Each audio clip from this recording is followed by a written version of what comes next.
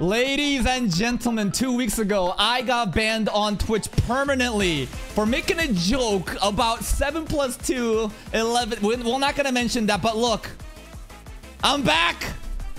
I'm back, baby. No more kick. Listen, this is where we go, right? If you're not familiar with Twitch, this is where we do all our recordings until recently because I've been banned. I've been a bad boy. But if you search Cawcaw TV, right? Cawcaw TV, trying to pay bills, watching anime. Oh, oh, we are fucking back. Is there anyone chatting?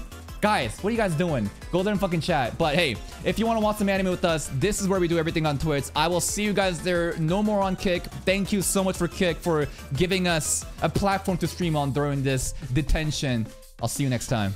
Bye-bye.